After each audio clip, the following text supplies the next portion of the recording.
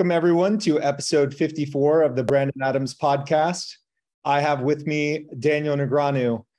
Daniel is probably the most famous poker player on the planet right now, possibly with the exception of his rival, Phil Hellmuth.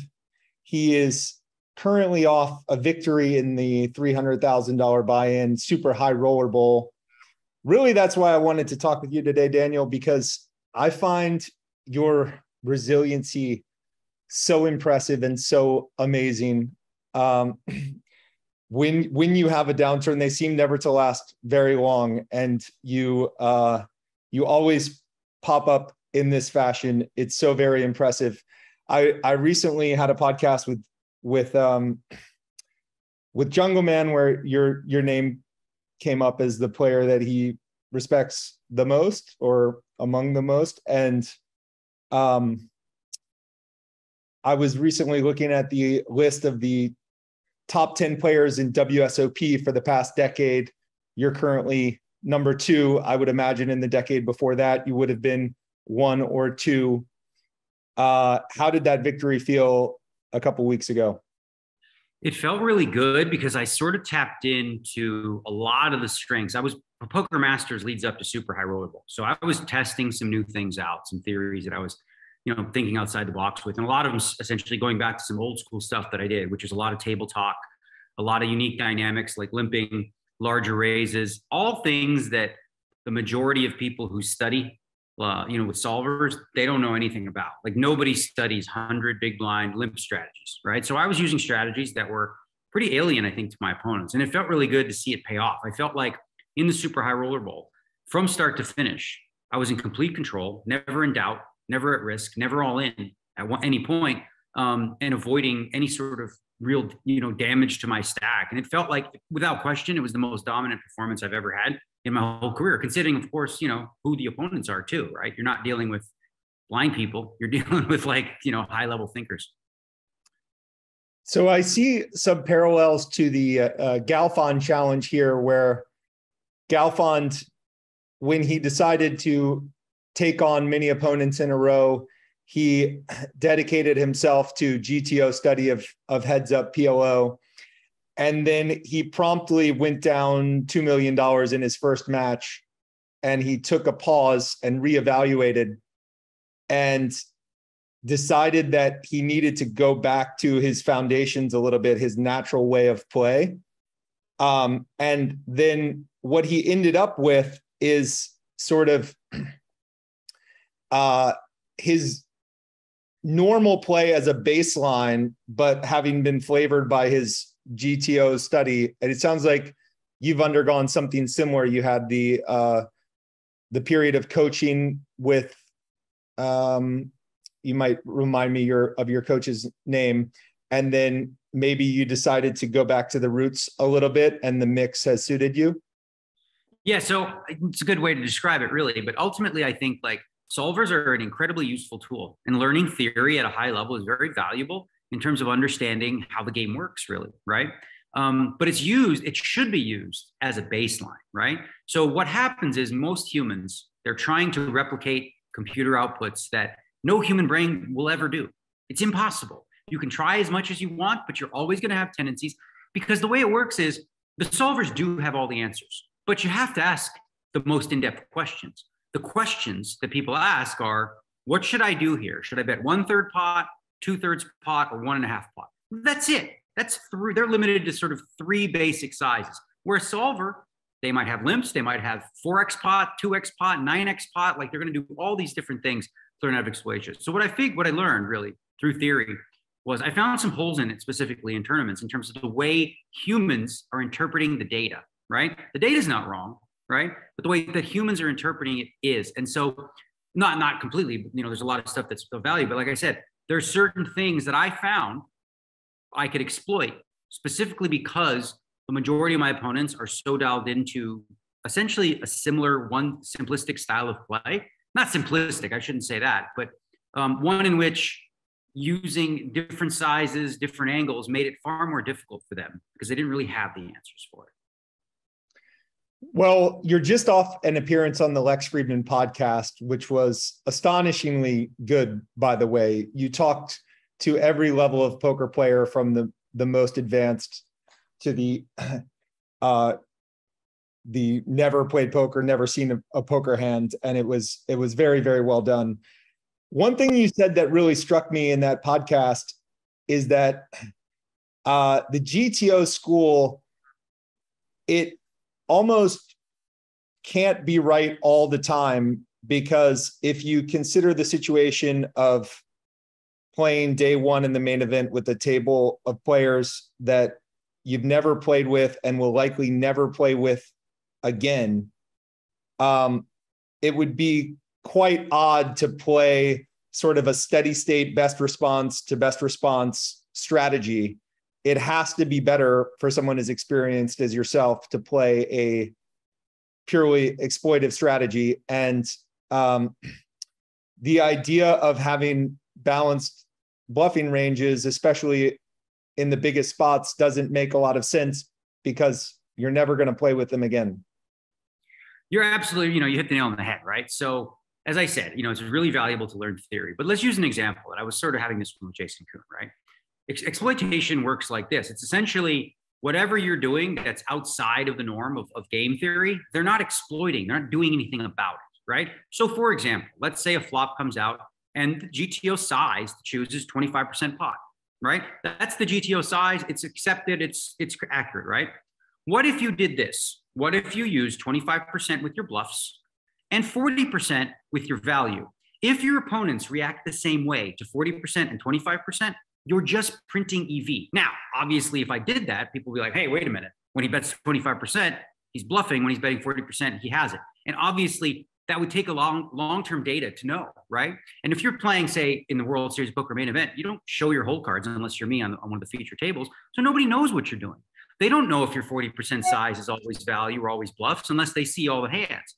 And when they do, you can always make that adjustment. So the point being is that, you know, if you try to play a strategy that is game theory optimal, you're trying to avoid being exploited by not exploiting, right?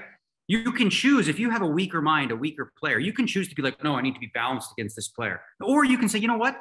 This guy always calls. I'm not bluffing him, period. Forget about theory, forget about anything. Everyone else at the table might know. Like I remember a period in 2004 when all the pros would like roll their eyes. I'm like, I'm betting almost the full pot on the river. And all the pros are like, he's got the nuts, right? I'm like, you all know that. But the guy I'm playing has no idea. So you can roll your eyes and say, well, we know Daniel has quads and he's such a fish. But like the guy called me because I wasn't playing against you, if that makes sense. It, it absolutely makes sense. And I also think another problem is that someone like you who's quite read based in their play every once in a while you just have to get deep in a hand with like the jack four offsuit that you should never have right? Or just, or make some serious diversions. I did it recently. I just played this little StormX invitational the other day. And uh, i had a hand where based on my stack size a guy opened. I'm supposed to just put my chips in. I had ace 10 short stack. And that's it's the correct play the gto play right? And you know, a lot of people talk about mixing their three bet strategies and stuff like that, and they do it randomly, right?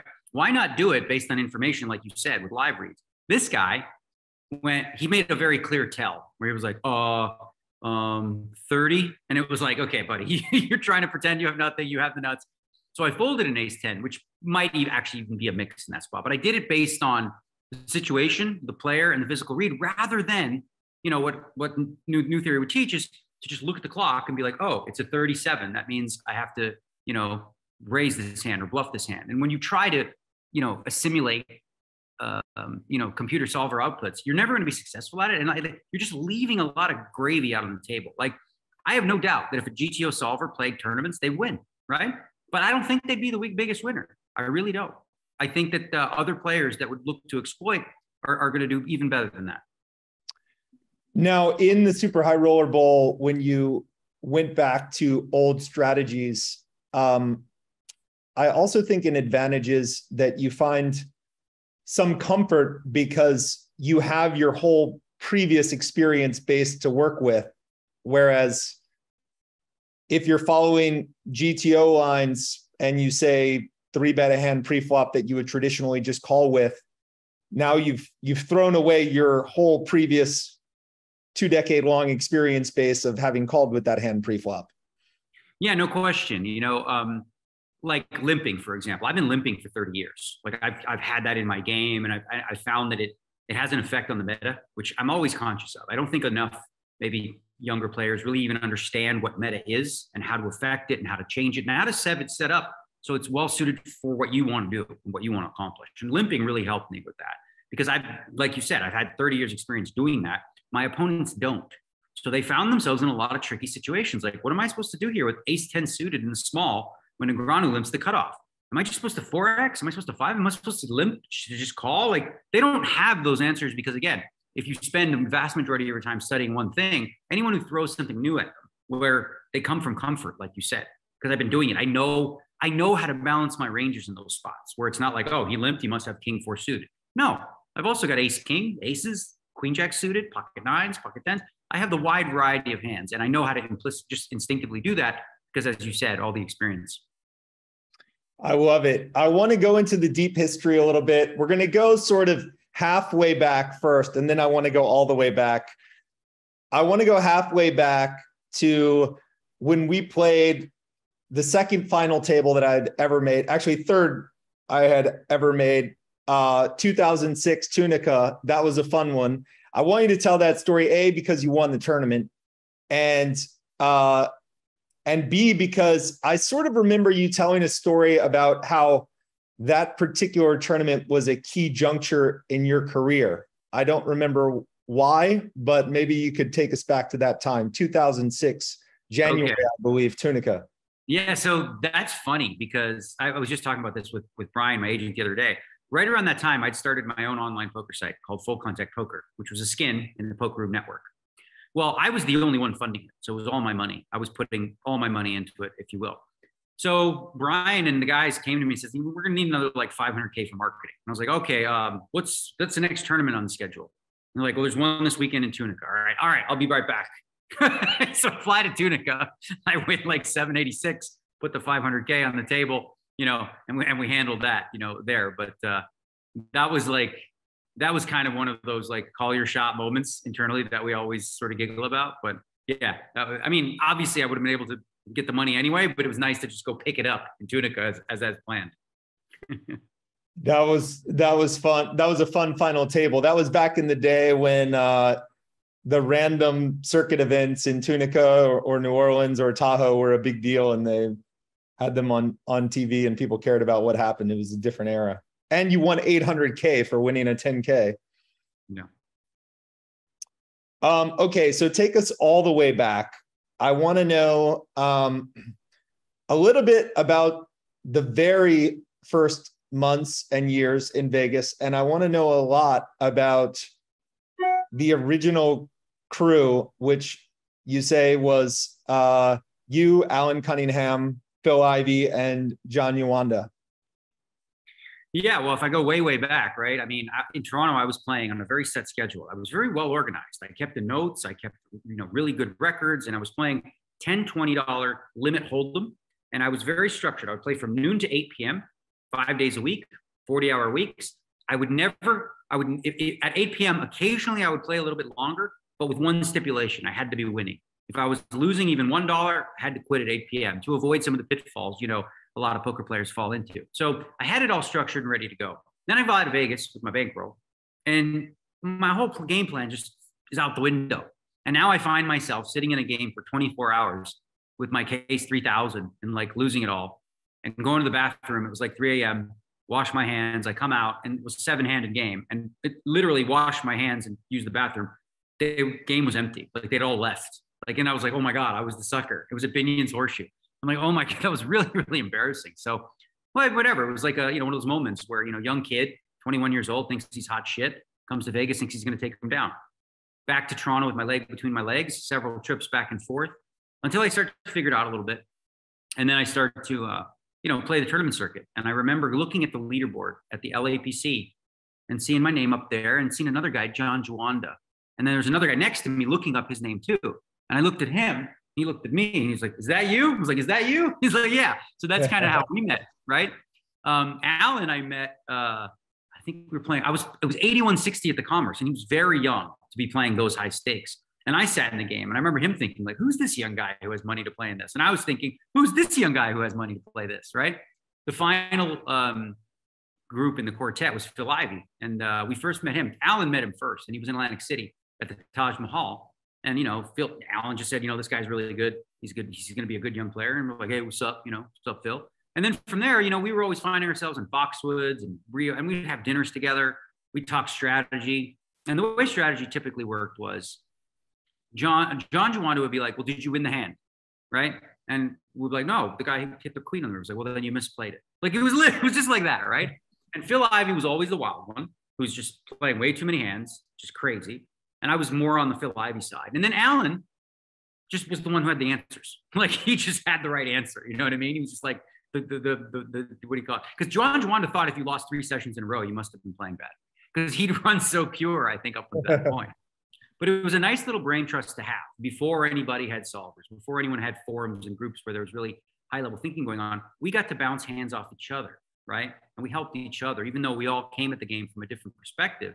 I think it's a valuable way to learn still. You know, obviously, you know, there's much more advanced tools now, but the idea of having a group, you know, a group of friends who are all in the same group, you know, same same sort of place in their poker career, bouncing ideas off each other. That's that's a really good way for you guys to all grow together. I think if you haven't uh, been to visit John Juanda in Tokyo, I recommend it. He he said that I should hit him up when I went to Tokyo for my 40th birthday, and I did, and it was fantastic. Yeah, no, I know. That's one of the things I, I I'm probably going to do. It's on my bucket list to go check him out over there in Japan.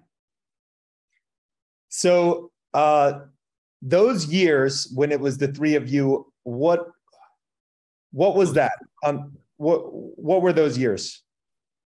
I don't even, you know, so this is the thing about like time and years. Like I'm really bad at like remembering exactly when and what. Um, you know, I I started out in the late 90s, you know, playing tournaments, and that's where all those guys sort of came into the picture, right? You know, around 2000-ish or whatever. Um, so I would say it was like right around those years. And really what we were doing was playing really small tournaments, you know, $300 buy-in, $100 buy-in, $200 buy-in, really gaining a lot of experience. Ivey sort of started to move towards cash games. Like I remember one month in Foxwoods, um, he was he was playing stud and he lost his money and he asked me to borrow and I had forty thousand in my name. He asked me for twenty. I gave him gave him twenty thousand. So the next month we went to LA and he started playing one and two hundred stud. Right by the end of the month he's playing five hundred thousand stud and he's got you know a big bankroll once again and, you know, he, that was, I was there every day too, but I was just playing these 200, $300 dinky tournaments. And he was in there, you know, actually grinding. And when he grinds, when he sets his mind to grinding hard, he's, you know, tough as nails.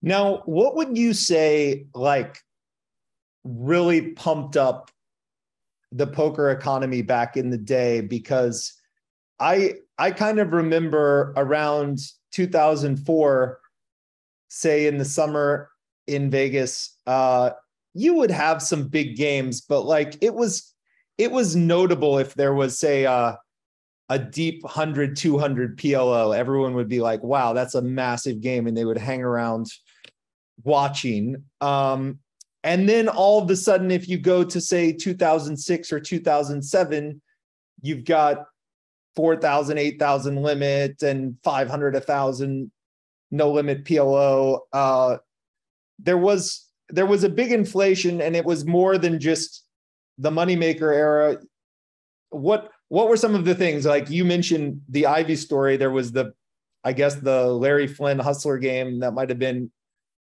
an infusion pumped pumped him up um, what did you see as as driving the uh the poker boom back then at the high stakes well, you know, your timeline is definitely different than I recollect. And I think I'm accurate on this one because I would remember this one pretty well. But I was playing high stakes in the 2001, 2002. I was playing as high as 4,000, 8,000 back then, mixed games with a 100. We had a one through 2,000 blind, no limit with a 1,000 ante, which is a really dumb game with a 100K cap. It's like 50, it's like just get it in. Like someone make it 10, next guy 100, you know? really stupid game. But I was playing those games before the WPT came around.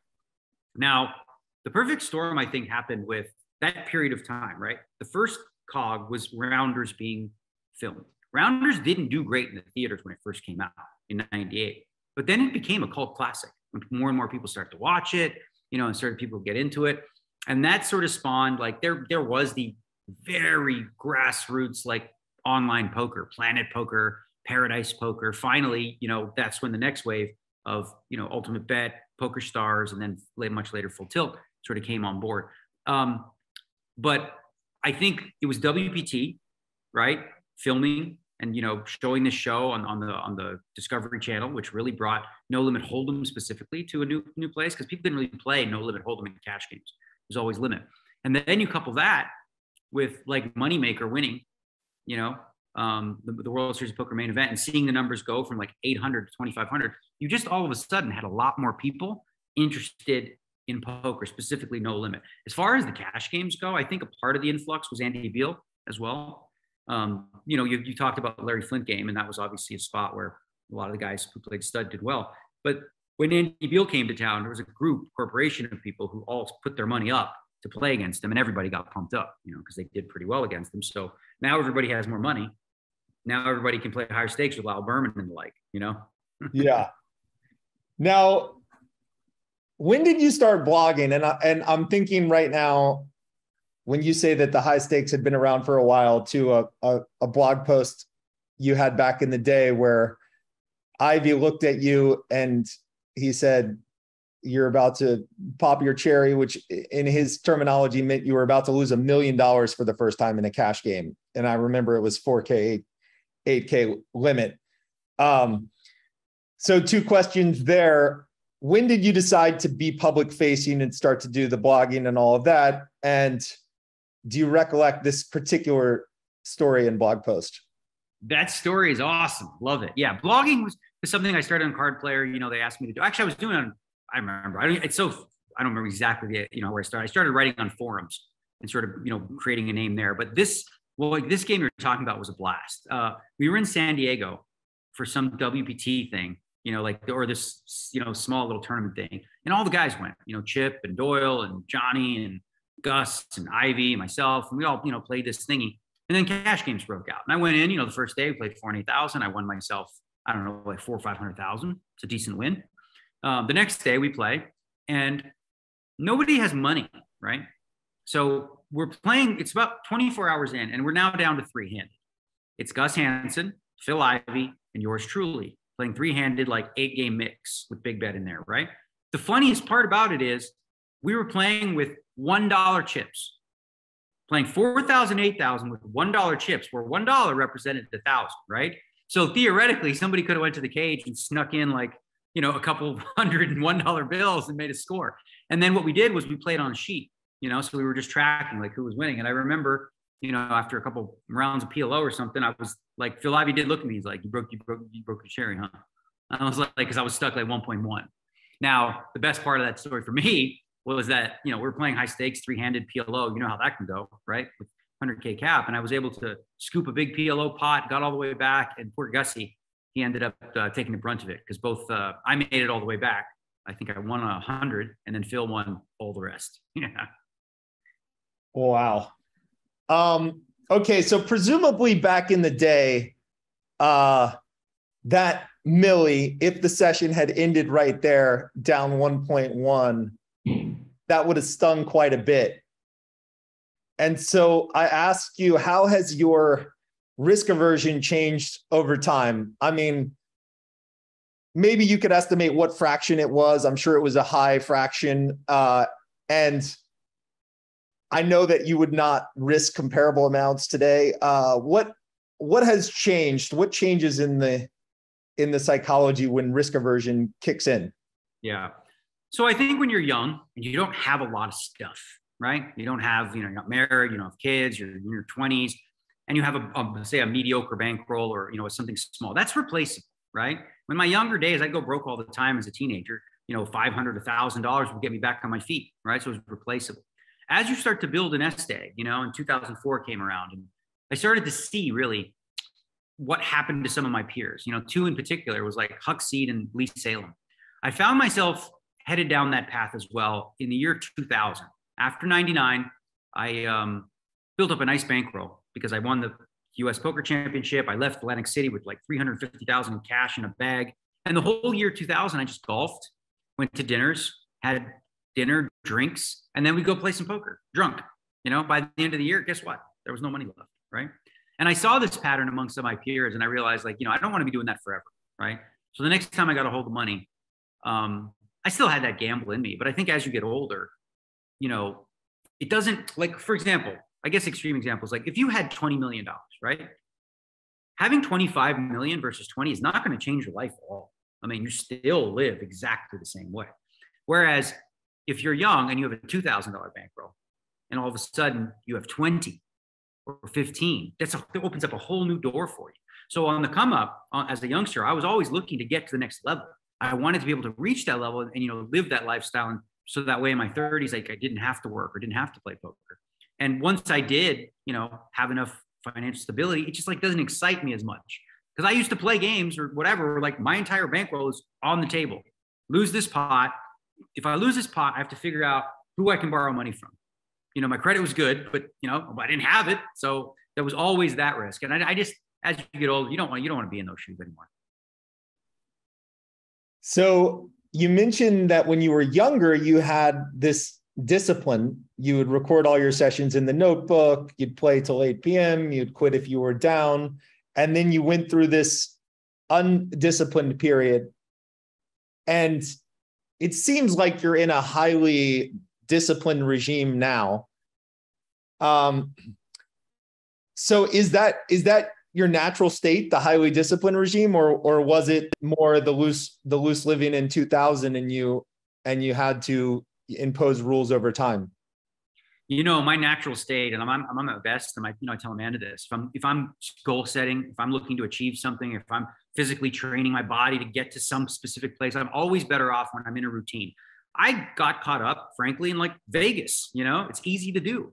You go play poker, then you go have some drinks, you go to Spearmint Rhino, and now all of a sudden you wake up in the like you leave the strip joint and it's like bright sun at 7 a.m. and you're like sleeping all day, drinking, living that life. Like, you know, I got tired of it. I didn't want to do it anymore. But I certainly, you know, that that threw off my entire schedule, right? There was no sense of like, you know, structure. And that was part of what led to the year 2000 for me.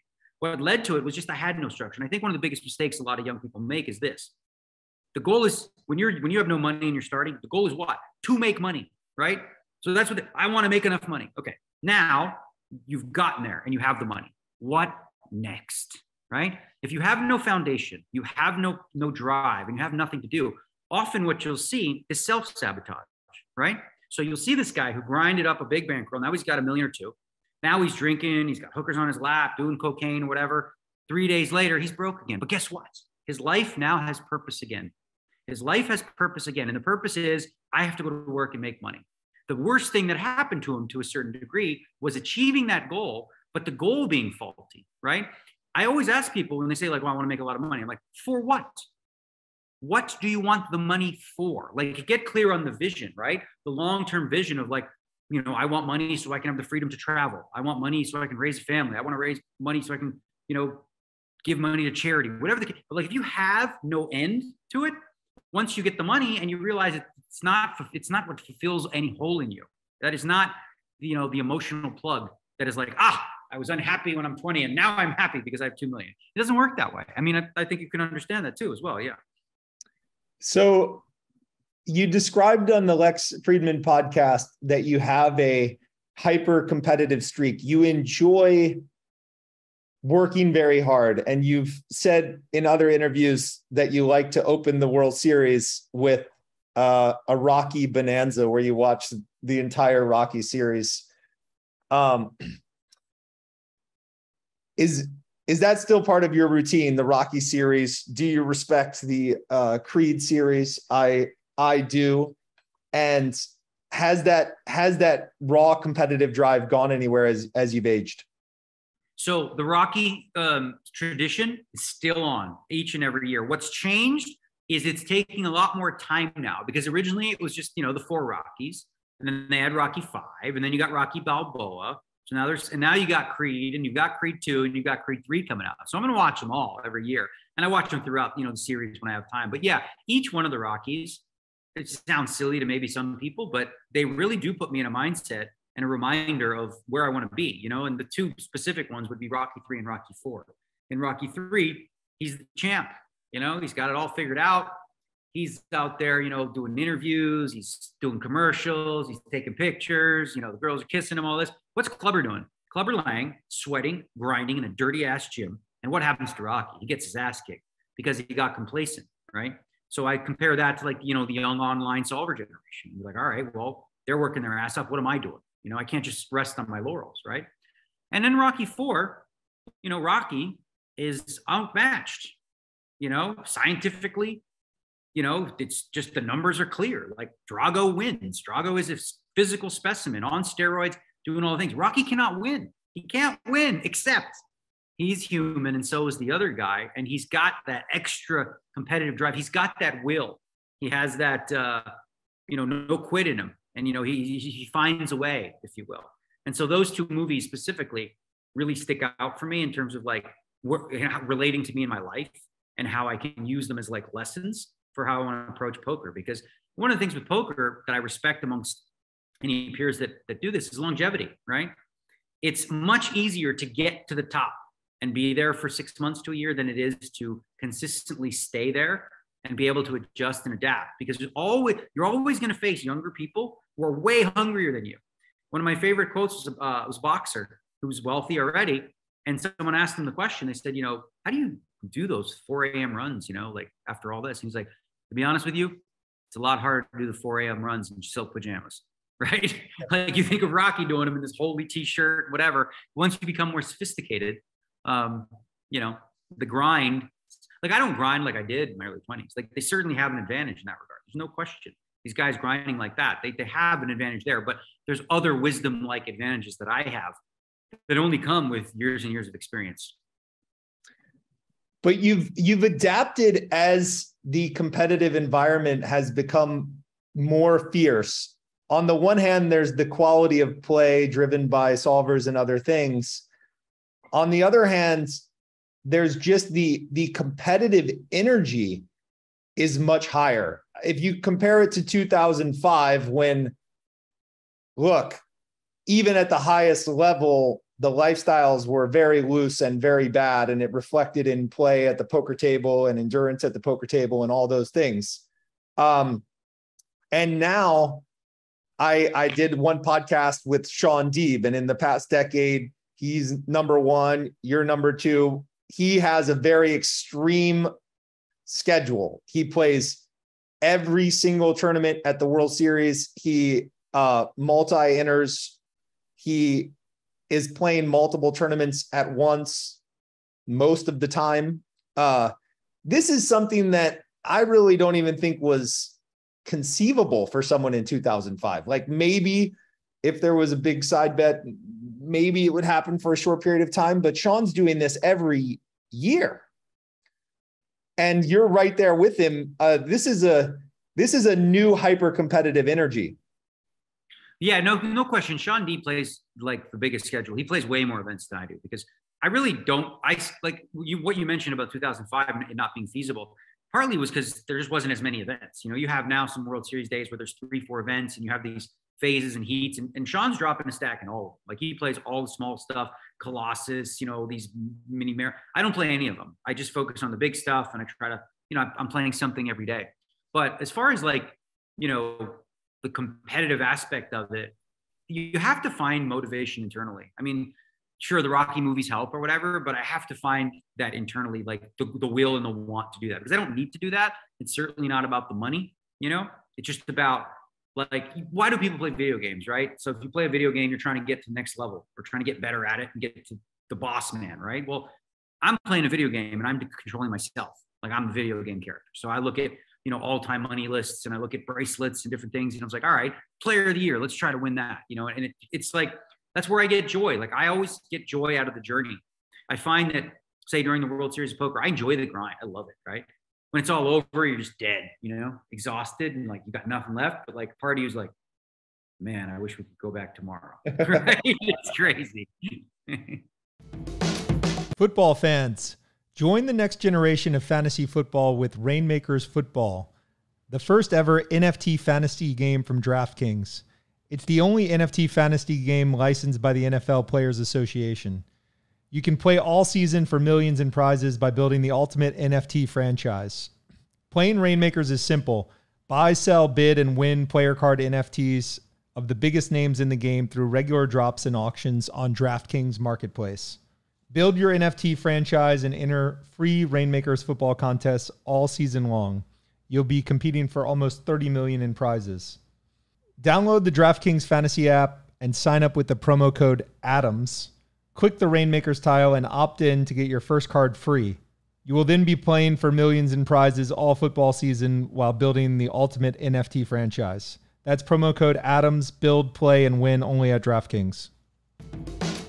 So, uh, you were explaining in the Lex podcast that you don't exercise, you don't watch the diet during the World Series, you gain 10, 12 pounds. You just try to focus on sleeping when you can and playing a lot of poker, simplify everything else in life, and then kind of play catch up in the month or two after. Yeah, well, if you look at Shaun Deeb, for example, I don't think his World Series of Poker regimen includes, you know, Pilates, calisthenics, you know, weight training and cardio, right? Because there's no time, right? He's playing nonstop. And for me as well, um, I mean, I, we don't eat the same diet exactly, but um, for me as well, like because I'm so invested in that, I've tried it. I've gone back and forth, like you know, in the old, I would work out in the morning and go, but I found that like 1, 2 a.m. when I really needed all my faculties, waking up that extra hour too early to work out, right? By it, it actually affected me late in tournaments where I was drained. I just didn't have it, you know, because then I realized that like above all, sleep is most important. So what I try to do going into the World Series is I try to go in in very good shape, right? So I go into the World Series in good shape, knowing that the next six weeks my body can take it. It can, you know, gain a little bit, it can get a little softer and all those things. Um, and then I know that I, you know, I can game plan it and get back in shape, you know, quickly after that. But I found that if I'm going to do this right, the number one predictor of failure for me is not getting sleep. And I think that's an under underestimated importance. Um, where your mind's at if you're only getting five, six hours of sleep after three, four days in these foggy situations. I mean, sure you can, you know, play what you think as well, but you just it's very difficult to you know what it's very difficult to do? It's very difficult to like have a short stack. You have seven big blinds left and you're exhausted, right? And be like, oh no, you know what? You got to grind this nub. You're like, do I though? do I? Can I just ship it in there and go to sleep? And that doesn't happen as much if you're like super engaged and super focused. You're like, I got seven bigs. We just got a double. We're back in this thing, right? If you're tired, you're like, oh, fuck. Just give me an ace. Let me put it in. Come on. so, do you ever now in October in Vegas, like want to go take on Bellagio 5K, 10K that's running right now? Just, just, I know your focus is crushing the tournaments and keeping the routine, keeping the healthy routine, but do you, is there any element of the hyper competitive streak that says, you know what, I'm going to go crush that game for a few million? I'll be honest, like I haven't had the appetite for it. I just haven't had the appetite. I mean, I used to, obviously, back in the early 2000s. You know, that's what I did was play mixed game cash for a living. Um, but for me, I'm, I live in extremes, really. Like as I mentioned, we talked about the World Series Poker. Very degen, right? You know, playing nonstop, not working out, eating chocolate, eating sweets, whatever it takes, right? Just total degen, right? But then when I'm not doing that, I'm totally the opposite. I'm in a routine. I'm waking up at the same time having coffee at the right time, doing all the things properly, right? Um, so then in, in that time, like if I were to go play at Bellagio and stuff, it disrupts it, you know, and I don't want, I, I have enough disruption with just the World Series of Poker alone and a couple other series. Frankly, when I play the Poker Go series, I, I still maintain a pretty good healthy lifestyle because, you know, the days are not as long and, you know, it's, it's a, just nice and convenient. It's one tournament. So I'm able to like stick with that. But if I were to go play cash games with those guys, um, sometimes when you're in that world, like if you're playing high stakes, like five and 10,000, you're going to find yourself there at 9 a.m., you know, still playing from 7 p.m. the day before the day before. Like it's just, it's just the way that it, you know, the way that it essentially works at times. It's like, sometimes it's a, it's a, a battle of attrition in that like you have five guys who've all been up for two days and it's like, okay, all right, who who can who can hold up well enough? And then you're pissed when at 9 a.m. some guy walks in fresh, just had eight hours sleep. He's got his newspaper and his coffee. He's like, seat open, and you all look at him like, you know, are you fucking kidding me? nah, bro, you can't come in here all fresh and clean and ready to go. Like you, they should get get out of our get out of our face. so you've mentioned that Ivey is, in your estimation, the best poker player, and all the evidence seems to support that over the very long period. Um, but who else is in your list of the of the night the nightmare opponent? If it's a if it's a lock the doors, 30 days, 15 hours a day, let's just say uh eight game mix, let's just let's just suppose. Who who else is on your list? Three or four guys. Yeah, well, there's obviously some names that I don't have a lot of experience with, but I respect my peers who you know have really good things to say about them. One would be Timofey, you know, another one would be like Michael Thuritz and those types. And I played a little with him. On on a personal level, the guy that I would find really difficult to battle with, shorthanded in eight game mix, is Scott Seiver, because he has a mind that like he figures out like new unique games. Like if you just decided, all right, we're gonna play today, seven stud, nine or better. I'm like what? Okay, nine or better. Now he would, you know, he's Kim and Phil Ivey. They'll be able to adapt very quickly, you know, and and you know be you know be able to think they've got just good poker minds. You know, they've got really good card sense in that way. They're not necessarily, you know, prototypical like studied spots. You know, they just they have good feel, if you will. So Scott would be up there on my list. Um, it's a whole bunch of guys. It's been a while since I played, like I said. Um, and when I started, you know, the big names of the time, they weren't really that good, right? Like they, just, they were good comparatively, right? And so people always ask, like, well, you know, they sucked back then. I'm like, but Bob, I think it was Bobby Fischer who mentioned this you know, he was asked, like, what do you think of the chess players from 100 years ago? And he's like, they're fantastic. He's like, you can't compare players of today to players of them because they had, they have, we have access to way more theoretical knowledge, right? So players today have all this theoretical knowledge that they got based on solver stuff that if you drop them back into the year 1999, you don't have any of that. Okay. So you don't have any of the knowledge. So how are you going to be good? Right. So obviously, if you compare the two and put them in a game, you know, the modern day players with, with theoretical knowledge are going to be better, but it's it's apples and oranges, right? Because those guys, you think about Doyle Brunson and how he learned odds. He took a deck of cards and he would put ace king in one hand and sixes in the other, and he would deal out a flop, turn, and river, and he would mark down on pen and paper. Oh, you know, after a couple hundred, ace king seemed to win about 45% of them. They did it like that manually, like that archaic. Whereas today, kids, boom, doing super advanced solves with the press of a button it's funny with Seiver, when he showed up, you kind of knew he was going to be good. He showed up. He's 21 years old, coming from Brown or whatever at Cornell, and he and uh, always articulate from day one. Probably more articulate when he was 21 than he than he is today. And and and you just knew that his mind worked well with poker. You could see it from the from the first weeks, and uh, it wasn't a surprise when it turned out he was around for a while. It's funny you mentioned Bobby Fischer. You've probably seen the material recently where they go back in, in games and compare the play to the move AI would make, and he's actually among the best. right. That's amazing, right? So that's that's interesting you say that because I do think like a lot of the things that people learned using solvers and figuring out the right answers was stuff that I was already doing. Really, when I started to, you know, essentially create small ball, what tournament poker is today isn't? It's an extension of small ball, right? Across the board. And they've taken to a further extreme. Back in our day, when I grew up, nobody bet less than half pot on the flop as a C bet. There was no 20%, 25%. There was none of that. People back then were opening for three, four, five X. I was min raising, you know, or, or, close to it and stuff like that. So there was a lot of things. And there was another thing. I remember this theoretically when people used to laugh at me off of like 10 or 11 big blinds you know, someone would raise and I would just defend with like nine, 10 offsuit. And the theory was you got to raise or fold. You got to jam or fold. I'm like, why? One chip I can put in, right? See a flop. If I get a pair of tens, well, how exploited can I get? You know what I mean? I've only got eight big blinds left. If you can beat it, beat it, right? So like just that alone, understanding that defending your big blind off short stacks rather than just going all in, you know, was more optimal. Like stuff intu- intuitively we learned, we figured out. It's not like these, you know, old school players didn't play within um, you know theory that was effective, right? It just, you know, now it's like provable by, you know, data from my AI. And some of it was behavioral, right? Like you think about super system, Doyle Brunson, if you if you make a set, go ahead and bet out, right? Like it was it was not logical really. It's just behavioral. It was based on his long experience of what got the stacks. It was all yeah, it's, it's all based on exploitation, right? Right. So he's doing he's making these big bets with sets because he feels like when guys have overpairs, guess what? They they they call too often. They don't they don't they don't make folds, right?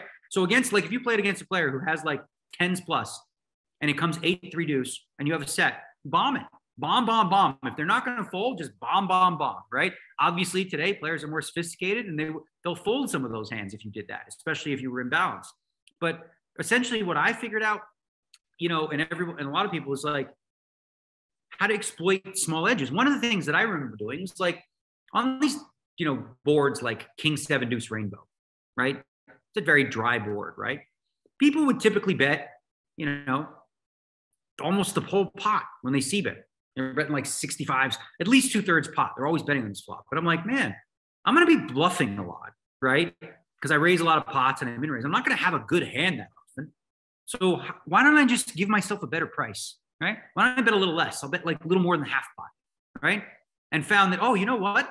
Instead of betting 6,500 or 7,000, I can bet 4,500 and I can get away with it, right? So I was looking to cut corners. And that's how I went, started to lower my raise sizes when I'm stealing the blinds. Instead of making it like, you know, 3x or two and a half, I'll be like, what if I go 2.4? And the question is, how much will my opponents adjust, right? So obviously, like say a hand like 7 8 offsuit. If someone opens for 10x, it's full. Everyone knows that, right? And if someone min raises, well, it's you know, it's a call, right? It should be a call with the blinds and you know, in the structure. The question is, where's the middle, right? So we know min raise is a call. We know 10x is a fold, right? What about two and a half? What about three? What about four? Where is the line? And nobody really studies in that regard. Nobody has separate ranges for 7 8 offsuit against 2.2, 2.4, 3.5, 4. Point. Nobody does that, right? So they're just guesstimating. So part of what you know an exploit could look like, and I've been doing this, frankly, because I, I know it's causes problems, is I've been varying my open sizes. Right? Now, if you figure out how I'm varying them and what I'm doing, you could exploit me. Good luck. Go for it. so if you were told that you can't play poker for the next three years and Amanda said, "Yeah, all right, you're limited to your uh, five five to ten hours a week hanging out. How how would you occupy your time?" I'm limited to only spending five to ten hours with her. Let's just say you got to fill you got to fill your days. Listen, I can fill okay, so I'm she she she's like amazed by this, but like I because I before this started, I was doing this. I could spend six to eight hours a day crunching hockey stats for my fantasy draft, for my fantasy pool that I've been in since the late 90s. Absolutely love it. Right. Now, a more productive version of what day would include, and I haven't been doing this, is golf, going to the gym. So, like, say, for example, I could set it up where, you know, 10 a.m., I wake up, have breakfast, check the internet, see what's going on, go to the gym at noon, have lunch, you know, then go to the golf course for a day, watch the hockey games, maybe watch a show or two on Netflix or something like that. Like, frankly, I already sort of do that. you know what I mean? Like, because I'm, you know, when I'm not playing poker, I'm really not playing poker. I'm not in the lab. I'm not, I'm just like fully resting and relaxing. So to do it for three full years, I would imagine it would look a lot like that. And I would probably along the way figure out new challenges and things that I wanted to improve upon. Like everyone's playing pickleball now. I don't know, maybe I'd pick up pickleball. Like I'll figure something out and enjoy the process and the journey of improving on. Like even with golf, like I plan to get back to golf, right? And I'm going to be terrible because I haven't golfed in like a year, right? But that's okay. It's a new starting point. I'm not going to compare myself to when I shot like 80 from the back tees at Summerlin. I'm going to compare myself to yesterday or, you know, just to try to improve. So, okay, I can't break 100. Well, let's break 100. Let's get back to 95 and 90. So that that challenge that that's like the juice of life for me. So I fully enjoy that. So if it wasn't poker that I was doing for three years, I would replace it with other passions for sure. So do you consider your mindset ADD with hyperfocus or the opposite of ADD? It's hard to tell from the outside. Like like I'm probably ADD with hyperfocus. And I wouldn't know how to characterize you. Yeah, it's funny you say that because I remember we were watching, my wife and I were watching uh, Nick Schulman say, like on the broadcast, he's like, because I was like all over the place. I'm talking, I'm this and that. He's like, I feel like Negreanu has some sort of like, you know, uh, personality, borderline personality disorder. And my wife, who studies this stuff, she's, you know, she's very, she's getting her psychology, psychology, psychology degree. Um, she's like, you're not, there's, you're no traits of that, but you, she thinks I'm like ADHD because my mind like is all over the I, I, I, don't know right i think with certain things i'm definitely anal um, and structured as, as i said but overall uh, i don't really i wouldn't even know how to describe it but um, i think i have a very fast twitch brain like i listen to myself speak like i listen to podcasts on 2x right because just because i want to get them down but i can actually understand it and the way that I speak, when I'm on one, if I listen, I'm like, holy shit, bro. On 2X, it's too much. Like I speak really quickly think fast. Um, and I don't, yeah, I don't know. I, I, I wish I, I have. So basically, the, the ADD with hyperfocus or without was the. Well, no, no ADD. ADD. Uh, a lot of times, people will have that sort of scatterbrain, but then they're capable of extreme focus sometimes That's for funny. long periods of time if they are interested in the thing. But then that same person if you told them, well, you, you don't have your assistant for the day, uh, you have to uh, pay your own bills and organize all your own travel and do that, they'll be like doing everything but that thing, and they'll be the most efficient, inefficient person in the in the universe. That's me. Okay, with the second one is 100% me. The first one is 100% Phil Ivey. I'm so glad you described it that way. Because like when when when my guy, if I have to like, we just moved to this new house, I have to input like my new password on the Hulu to get back in. Drives me fucking nuts. Having to fill out paperwork and like, oh, I don't have the patience for it. I don't want to do it. So I have other people do it. Right. Ivey has that other thing where Ivey will like, and so did Ted Forrest in a way, but like Ivey will call you and you'll be like, hello. And you're like, huh? I'll call you back. Like, why you called me? Like his brain is just like, huh? What? It's like staring at something. You know what I mean? He's doing that like that face and that look, and you're like, where are you, bro? Because you're not here right now. But obviously, when he's playing poker, he's a killer. Like he's intent, he's super focused. You know, he's he's focused specifically on the task and completely just everything else, just, you know, drowns out everything else, and he's so focused like that. But I'm more like the other one, like you said, which, uh, yeah, if it would have, if I if I didn't have like someone helping me with that shit, it would just it would, be, it would not get done.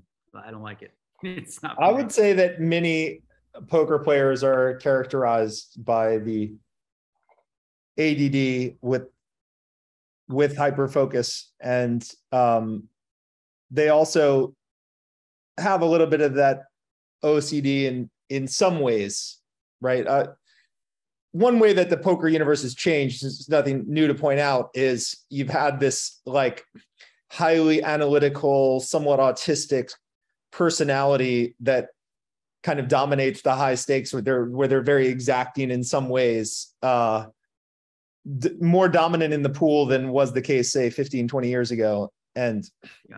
i think a big reason for that though and it's a good point you bring up uh, a big reason for that is like the way in which their brains work and the way in which they study. I think like the german crew that started playing was a perfect example. Now fedor i think is one who has natural card sense. He just got that right? But a lot of the guys that he was teaching or whatever did not. They were not poker players, they're not card players, but they really knew how to study very well. So they worked with solvers, they studied spots, they became very analytical, then they became very, very good, right? They didn't become good from being that sort of Phil mindset or just figuring things out on their own. They just were really good uh, and, you know, persistent about like work ethic and, and logic in that regard. So that's what opened up for a lot of people that necessarily weren't necessarily good card players, but if you were good at study, if you went to school and university and you, you know, you do that, you, you're very good in that practice. Now, all of a sudden with poker, you have a way to learn that way. I mean, in the old days, you couldn't learn that way. There's just, there was just no way that there's no way to learn it that way. Now you can. So it's interesting in that, you know, I think for online poker specifically, having that mindset is really, really important. Maybe less so when you play live and, and having, but having sort of a balance of both makes you, you know, top notch. Well, in the in the old situation, you couldn't shortcut the learning process where to, today you can because what you're learning now from solvers, it is a very, very efficient way to learn. So you're able to shortcut quite a lot, whereas you weren't able to do that before. Maybe 12 years ago, you could study the databases of top players and you could shortcut a little bit that way, but it wasn't nearly. Perfect example of that the very most minimal, like easiest example.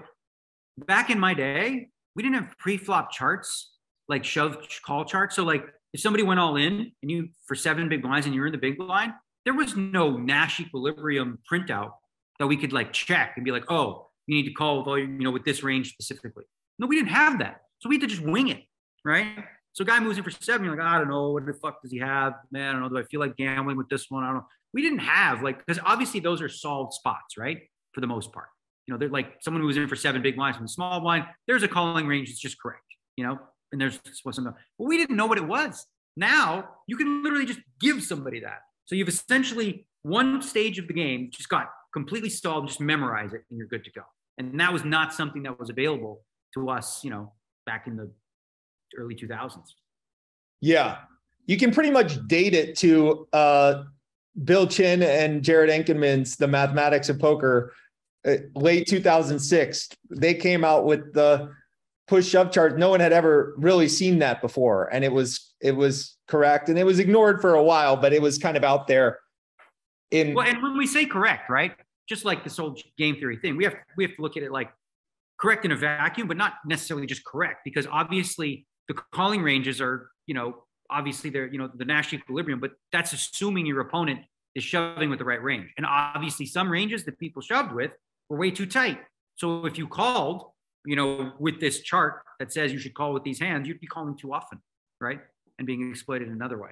Yeah, for sure, for sure. And there and there was also the problem of, well, this is the Nash equilibrium if your only options are push fold but there are all these other options like you can limp the button and min raise.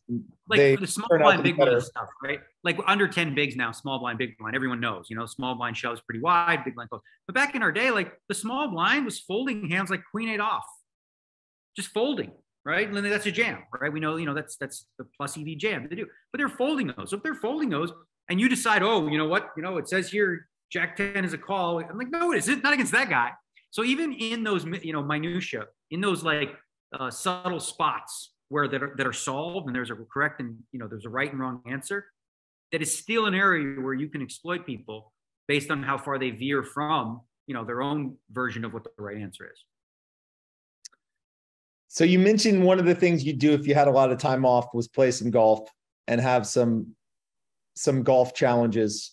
Uh, in my research for this pod, I learned three things about you that made me realize that I don't want a golf prop bet with you. Uh, aside from our our experience at at TPC Summerlin, the reason the reasons the reasons are um, that uh, one Christian who is a listener of this pod, I can I can thankfully say. Uh, he says, according to you, that you putt as well as the PGA guys when they're in town because you know the green so well and because you played snooker when you were younger and have a natural feel for things. So that's that's deterring. And uh, you say that you shot sub 80 from the tips at TPC Summerlin, which I never would have guessed that you could do. Neither would I. um, and that was a very large bet. You said 550K. And you also have a full simulator in your house along with a six hole uh, short game course in your backyard. All true. Yeah. Well, I mean, listen, what, when Christian was saying about the putting, him and I as a team, right? Because he's the one reading the greens, but him and I as a team, he lines it up for me, but I knock him in and he knows the greens at TPC Summerlin as good as anybody. So when they come to town and play that course, you know, he feels like I can putt just as well as they can, which, you know, I don't know if it's true, but I, haven't tested it. But I'm very confident in my putting game. And I think ultimately what I'm confident in is I know that if I do something like that, I'm not going to half-ass it, right? Like if you made a bet with me of some kind, like a long-term bet, like I'm going to, I'm going to work. Like when we did this thing, me and Christian, 7 a.m. we were at the golf course. You know, we practiced for an hour, played 18 holes, practiced for another hour and a half, another 18 holes, and we're eating while we play. You know, and then practice again for another hour, nine more holes, and then practice again until it got dark. So we were there 13 hours, 14 hours a day, you know, constantly working until we got there. And uh, like I have that in me, you know. So, um, I but I it's fun, you know, it's fun to make those. But then they are like that's a full time job. You're essentially dedicating yourself to if you if you take something like that on. Tell me your Patrick gambling stories. He was on this pod. Uh, he gave some pretty good advice to people who are listening to this pod. He said, never do one of these long term prop bets because yeah. they take up too much time. Yeah, no, I don't disagree. Me and Patrick, we had so much fun. Well, we had more fun than they did because we won, but um, we had we would create these scramble matches, right?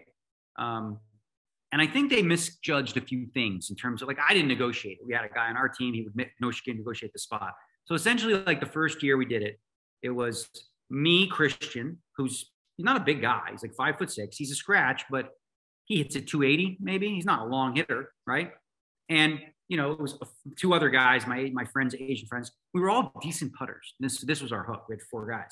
They had three: Patrick, their ace, Jimmy, and like another guy, right? So there it was them three against us. We got a T spot, right? But we scrambled three balls against four. So on average, they'd hit the green 10, 10 yards closer than us, but we got four putts and all four of us could putt. And they had, you know, one really good putter and then the other guys were, you know, averageish, right? So we ended up winning, you know, pretty good in the first uh, year we did it. We did it again the next year. They replaced one of their guys, supposedly with a guy who isn't as long as the other guy. Like, okay, we'll see. The hole number 13 at TPC Summerlin is this long par five. And there's these bunkers on the left you don't mess with. There's, there's no point. He just flies it over them 380 yards. And we're like, okay, Miko, nice, nice, nice shot. But we were still able again because it comes down to putting.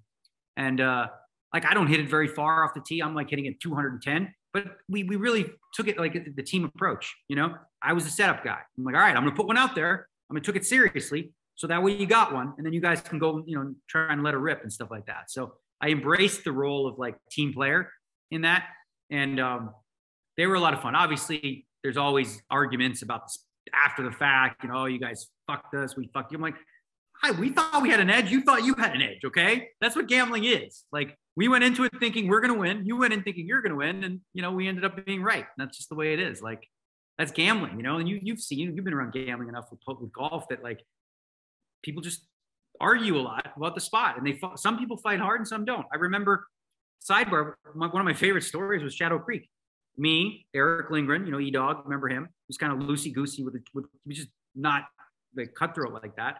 Phil Ivey Doyle Brunson, you know, and a couple others. We go there to golf at 11 a.m. Boom, right?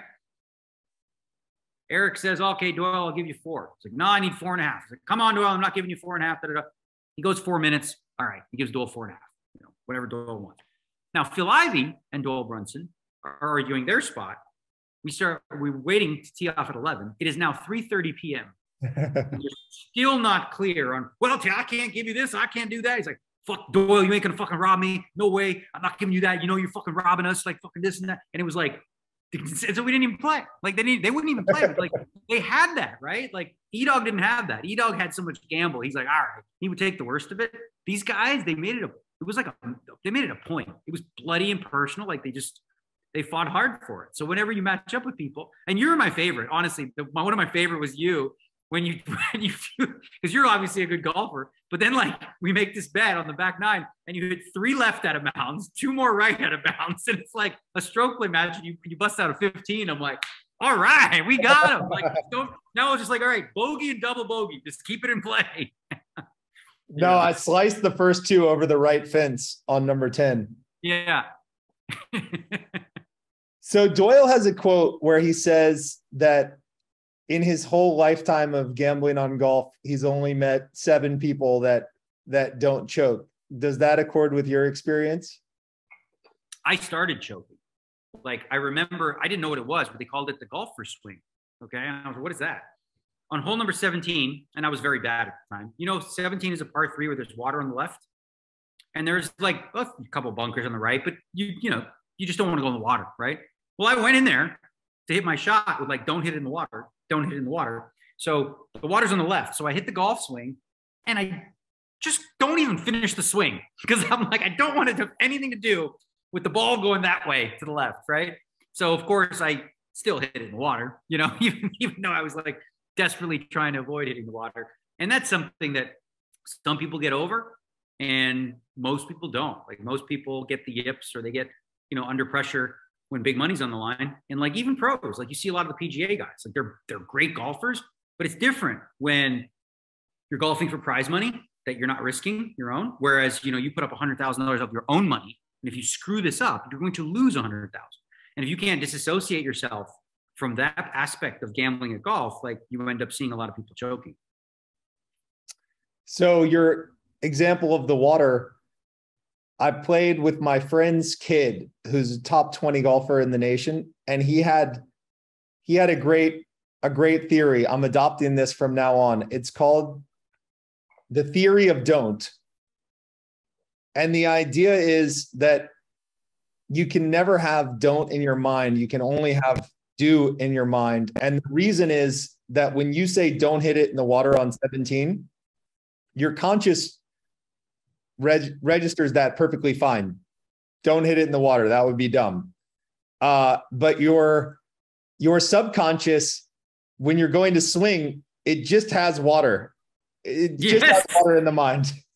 That's brilliant and aligned completely with the way that I see it. And think about it, it's like essentially putting water out in the universe, right? You're throwing it out there. And that's true even with putting. Don't leave it short. You know, make sure you or like, you know, make sure you whatever whatever, like you know, your putting speed and things like that. Whenever you're thinking don'ts, like in a bunker, you're saying like I don't hit it over the green, like don't scull it. Don't anytime you're thinking don'ts, you, you that's at the forefront of the subconscious. I believe that completely. I agree you know, you have to say instead of like don't hit it in the water, say like hit it at the flag, right? Yeah, think do like a very particular aim spot and actually try to get it to the center of the green, right? Hit the center of the green. That's, try to actively crowd out thinking about water, OB, anything along those lines. I think there's so much to that that expands past just sport and gambling and golf and just life, right? Like thinking about all the things that can go wrong, thinking about all the things you're not good at instead of focusing on what you can do, thinking in terms of possibility and growth and abundance rather than scarcity and you know negativity and stuff like that. I, mean, I think like when you see some of the more successful you know people in the world, they typically come from I can do anything, a lot more so than you know consciously being aware of all the reasons why they can't do anything. There's a saying that I like. This woman said she says analysis is paralysis in a lot of ways, right?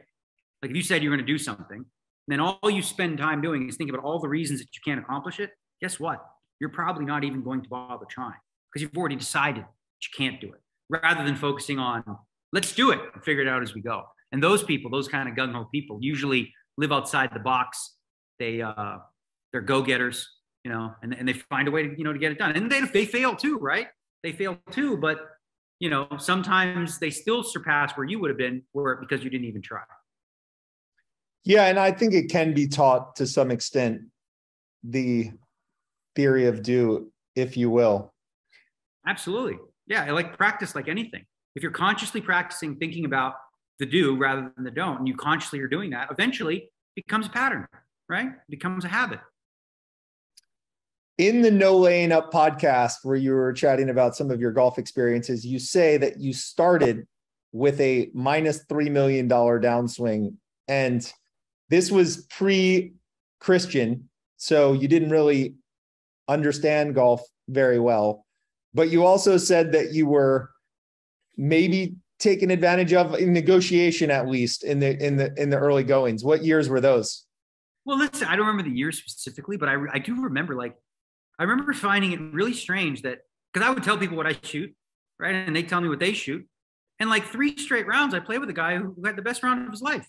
Like you know, like Mike Sexton, I remember, I was like, what do you shoot? He's like, I'm a bogey golfer. Bogey is 90 for those that don't know. Well, Mike Sexton goes out there, he birdies number four, five, and six on his way to a smooth 75. And he says, I'll tell you what, man, that was the round of my life. So I played early on with a bunch of guys who had the round of their life. Like a lot of people who gamble at golf understand that you have a handicap, right? And you share your handicap with your opponent, and that's how you create the spot. Not a single professional poker player I was playing with had a handicap. They all told you what they shot. You know, just take my word for it. Ah, I'm about a, I'm about a, a 12. I'm about a 15, you know, whatever. And they're just comparing like their worst possible round, you know. So it just came down to like I'd walk up to the golf course. I remember Dewey and Chip. I even got Chip Reese out of retirement because he had a, no cartilage in his knee, but he came out because he heard I was out there playing fifty thousand dollar Nassau's. So I'd show up to the tee. I'm like, all right, what do we got? Seven, six, five. I'm like, okay, okay. I just said yes. I was like, okay, let's bet. And I remember once we were playing in a sixsome at Shadow Creek, sixsome.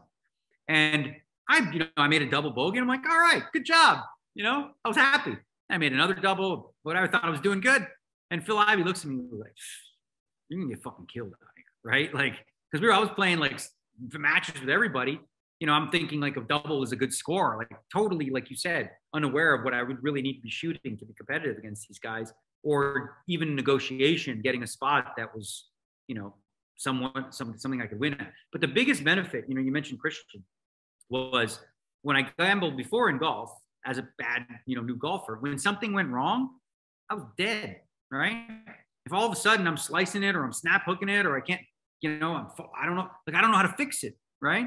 So that means I'm just gonna like spend the rest of the 15 holes bleeding money because you know once you make a bet for an 18 holes you play, I would just bleed money. But when I had Christian, in the moment he could be like, your grip, your, your right hand, get it underneath, your, you know, your stance, your, the ball's too far back. He sees everything so he can correct it and avoid like me taking like really bad bats. And obviously you're psychologically quite comfortable with him. Now, oh, yeah. Uh, Dewey Tomko, you mentioned he's in Doyle's group of seven. I don't remember where he goes over this group, but he's in Doyle's group of seven as a non-choker. This is unverified. I've never played with him, but it makes it makes sense to me. If you're setting up a match with the non-choker and you're one of the non-seven, settle this for the golfing universe. Is is choking part of the handicap? Choking should not be part of the handicap at all. No. No, but that's so. not logical because that means that Dewey automatically w- wins if he's one of the. Well, I mean, but you you can't really fact. So, for example, if you're you know if, if Dewey's a ten, you know, and, and you're a ten, you play even. If you happen to choke, like that's on you. Like you know, it's he's not lying about where he's at. He's just going to shoot. Like if he says I'm going to shoot 75 and he's out there shooting 75, then you know you you match up based on what, how good you are. You can't factor in like I think like you're, you're screwing up. I don't know. I don't think you factor that in. I don't see how that could be. I don't see how that could be right logically. If he's one of the non-chokers, and your handicap is just every round where you wake up and go play, and each person's a ten, then clearly well, any this, outside party would bet on Dewey every time because he's but, the non-choker. But, yeah, of course. But I would say this. Let's say, for example, there are two types of tens, right? There's Dewey, who's always going to shoot exact score, right? And then there's maybe you, who is sure going to shoot much worse than that on occasions, but also have the ability to shoot much better, right? Where like if you get hot, you'll beat dude, you'll beat him. But if you're not, you're going to get killed by dude. So you know if you have that type of golfer who's more erratic and across the board, like with his game, like I think when you think of non-choker, it's like okay, if I say I'm going to shoot this number, I'm going to shoot that number. Whereas another by the way, I feel a prop bet coming on because we both know that I'm not good at golf. we well, you're that guy. I think where you. I'm not that guy. I'm not that guy. I'm not. I'm not good. We both I'm not good. I cannot. Not true. You shoot 75 or 95. I can hit one shot. I can hit one shot that looks like I shoot 75. I cannot shoot 75. It never, ever happens. Okay. Well, I'll take your word for it. See? I've never played pickleball. I would play you in pickleball. Well, I'm sure. I've never played it either. And I, I would imagine that I'm drawing dead because you, you know, you have played tennis, right? I have played I have played tennis, but I've never I've never done pickleball. It looks it looks fun. Yeah. What is the most recent long-term prop bet that you've done? most recent. You know, it's been a while, right? Because like you know, we haven't been in those streets where when we were golfing every day, we were doing all that sort of gambling. It was pretty prevalent. Um, since then, it's just like here's the thing: like money doesn't like excite me at all. Like to make a prop bet of like ten thousand on something, it just doesn't do it for me. So it's been a really long time actually where I like haven't done anything like that at all. I can't even think of the last time I made a prop bet really. Well, this is more poker, but you could kind of think of the fantasy poker as a as a prop bet because sure, it's sure. Oh yeah, those side bets. Yeah, that would be it then. So the 25k fantasy, I have a blast. I've been running that event for like almost 10 years now. And you know, you pick your team, and then like you're obviously gambling on that, and then you make side bets with everybody. You know, I did lay some juice in one of them because I, you know, whatever. So those that was probably the last like side bet prop bet I made was based on fantasy, and that's what I've been doing consistently every year. And your team, presumably, they're picked for their endurance and and fortitude, and consistent. Well, I picked my team. So I, I went a different way. My team was very good this year. I only lost to one team, so I won a lot of money on the side bets, and I came second overall. Um, I looked at the schedule, the World Series poker schedule. So I know the point structure, I know the system. And historically, in our fantasy draft, you always want to go for like mixed game players because you get a lot of points for final tables, and it's easier to make final tables when there's only 100 players versus 3,000, right? So you didn't really take no limit guys. But this year on the WSOP schedule, you got 50K, 100K, 25K, all these really big no limits. So I was like, oh, hold on. Let me go after guys like Nick Schulman. Let's go after a guy you know who can, who can do both, who's going to play in those high stakes ones.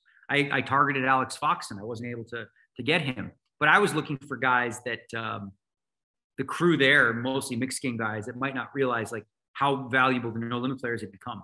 So so I was thinking more along lines of like guys that play the high roller no limits. And shortly in a week or so, you're going to play the WSOP Europe, try to keep the the hot streak going. What are what are the big events going there? So I wasn't going to play. Leon sent me the schedule, and there's like, there's not all these are bracelet events. So I think like half of the ones I'm going to play are bracelet events, and the other there's two 100 euro, 100k euro buy-in, uh, no limits with unlimited rebuy. You got like a 25k and a 50k PLO. You got a couple 25k no limits. You got a 50k or two of of um, no limit hold'em as well. So, you know, I plan on playing those, the main events, and um, you know, like just grind for 10 days. I'm not going there to have any fun. Yeah, I mean, it is fun. I enjoy the pro. But I'm not going there to drink and party and have fun with people. There's like, it's just solely an old school grind work trip. I love it. All right. Well, I've reached my allocation. I will, I will tell listeners that they should subscribe to masterclass, watch, watch the course, um, follow on Twitter. Anything else? Yeah, I mean, you know, that's it. I'm Real Kid Poker on Twitter. I got my YouTube channel for a lot of people if you want to learn a lot of the different games. I do a series for each game, you know, how to play Deuce to Seven Triple Draw, how to play Omaha 8 or better. And it's like a 20, 30 minute course. And I'm not, I know a lot of people that have watched it that have really like, I, I, remember playing with people in like a, in a tournament and they're like, they're on their phone. They're like, I'm watching your course right now. I'm like, okay, good. So now I know how you play. Great. but yeah, check out the YouTube. We got all kinds of stuff there you did an incredible job, by the way, on that Lex Fridman podcast. That's pretty hard when you know you're chatting with a million people and the audience is all over the map. Like that's uh you did you did a phenomenal job there. You know, I appreciate that feedback because I've gotten a lot of the same feedback from other high roller players like Mikita Badziakouski and others said, you know, saying I was doing a good job of explaining really high level concepts and game theory to, you know, in, in a way that's pal- palpable. And I feel like I'm uniquely qualified to do that because I'm somewhat new. You know, it's only been a couple years since I learned theory so I understand like what's going to sound too difficult because it was difficult for me to learn it first. So just finding examples and making it more accessible to a wider audience that doesn't play. Like I think one of the things when you have a conversation with somebody and you're talking about something that you're well nuanced on, but they might not be, you have to assume that they don't know what you're talking about. Like you can't just assume that they understand what RFI is. What is RFI? I didn't even know till about six months ago. Oh, RFI, that's raise first in, cool, right? So it's about the lingo you use and the ways in which you try to you know, I think use examples, of real life examples. But I appreciate it anyway. No, I, I enjoyed doing it. It was it was fun. Oh, and before we say cut, I have to ask you one final question. I need you to go into your phone and scroll through your phone notes and find my name and tell me what you have. You said in the interview that you keep you keep phone notes for every player when you're watching TV poker.